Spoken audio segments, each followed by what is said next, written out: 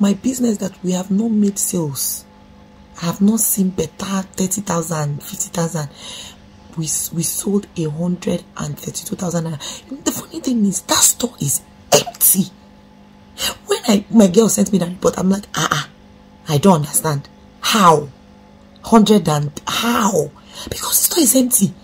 What, what did they see to buy? But Papa, I'm not taking it for granted. I know that this can only be God. Now, this month we are praying for favor. I say I don't want to lose my because I've seen the finger of God. Already, God is already moving. So I don't want to take this one for granted and say, okay, let the testimony be complete. Then I'll come and give it. No, Papa, I'm to give my testimony because I know that the God that has started it will perfect it.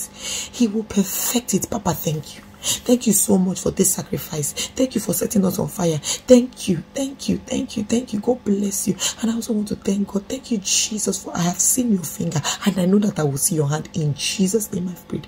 Amen.